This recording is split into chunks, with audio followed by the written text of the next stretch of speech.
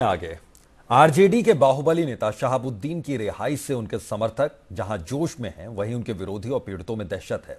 कुछ महीने पहले सिवान में मारे गए पत्रकार राजदेव रंजन की पत्नी आशा रंजन ने तो परिवार पर खतरे की आशंका जताई है।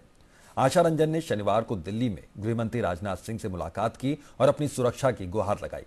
आशा ने कहा कि शहाबुद्दीन की रिहाई के बाद सिवान में एक बार फिर से दहशत का माहौल बनेगा, जैसा पहले जेल जाने से था। आशा रंजन ने प्रधानमंत्री से भी मिलने का वक्त मांगा है।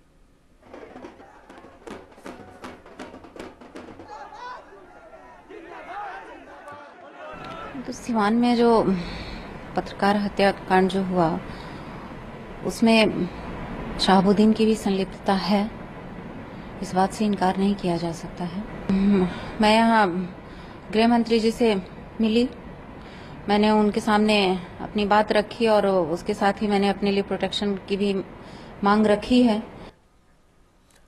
अब हम आपको दो तस्वीरें दिखाने जा रहे हैं। एक, कल देर रात की, जब शहाबुद्दीन सीवान में प्रतापपुर में अपने गाँव पहुँचा, हज़ारों की संख्या में समर्थकों ने शहाबुद्दीन का स्वागत किया। और दूसरी तस्वीर है कल सुबह की, जब शहाबुद्दीन भागलपुर जेल से जमानत पर रिहा होकर बाहर निकले और दर्जनों का गाड़ियों के काफिले के साथ शहाबुद्दीन भागलपुर से अपने गृहनगर सीवान पहुँचे सीवान में अपने गाँव पहुंचकर शहाबुद्दीन ने अपने घर की छत पर खड़े होकर समर्थकों को शुक्रिया कहा। तो जेल से रिहाई घर में अगवानी ये दो तस्वीरें। जेल से घर आया डॉन, काफिला देखिए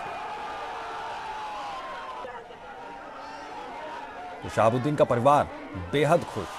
हालाँकि वो विरोधी और उनमें ज़रूर इस चीज़ को लेकर एक नाराज़गी है। तो सिवान पहुँचे, शहाबुद्दीन ने मुख्यमंत्री नीतीश कुमार पर दिए अपने पहले के बयान पर सफ़ाई दी और संख्या बल के नाम पर उनकी तुलना झारखंड के पूर्व सीएम मधु कोड़ा से कर दी। शहाबुद्दीन ने कहा कि उनको बदनाम करने के लिए बाहुबली कहा जाता है, जबकि वो न तो ठेकेदारी करते हैं न ही वसूली। हमारा चुनाव पूर्व गठबंधन था बात का थोड़ी है। उसमें कोई नहीं डाउट भी नहीं है, कोई डिबेट भी नहीं है। वो हमारे मुख्यमंत्री हैं, इस प्रदेश के मुख्यमंत्री हैं, गठबंधन के मुख्यमंत्री हैं, इसमें भी कोई डिबेट नहीं है। किसी तरह का कोई बहस नहीं है।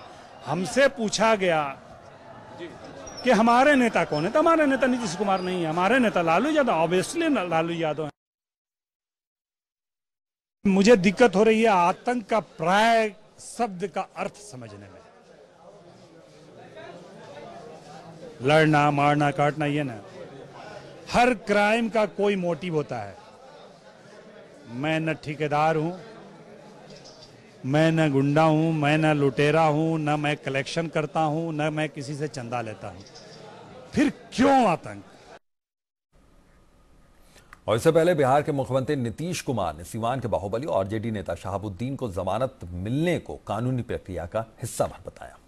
ये सब कानूनी प्रक्रिया है। कानून अपना काम करता रहता है और कानून की प्रक्रिया के अंदर ही अंदर जाना पड़ा ट्रायल हुआ है, कई मामलों में चल रहा है बेल हुआ है तो इसको हम कानूनी प्रक्रिया मानते हैं, इसका कोई बहुत महत्व नहीं।